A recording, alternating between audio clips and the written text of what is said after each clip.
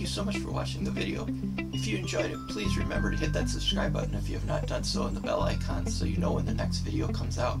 Also, please comment down below what you thought.